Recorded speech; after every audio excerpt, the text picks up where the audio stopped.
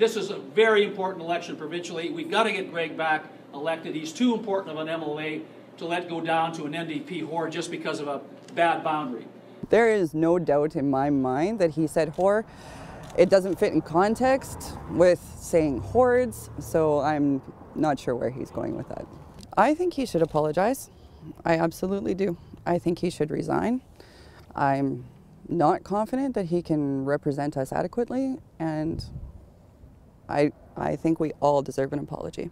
I feel that the public had the right to know. I feel like they had the right to an opinion. Um, I felt strongly that this was a story of public interest, and I wanted them to form their own opinion on what he had said.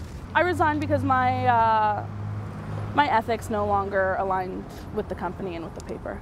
Uh, I felt I was being asked to compromise my morals, values, integrity, and as a journalist, I didn't want to do that. I didn't want to withhold information from the public. I didn't want uh, to deceive them. Um, they deserve the right to know. For an MP speaking publicly, I, uh, I believe that you know constituents uh, they deserve more respect. They deserve more respect than that. And I do believe that the word whore was used because she was a woman. If she was a man, uh, the word whore would not have been chosen to describe her.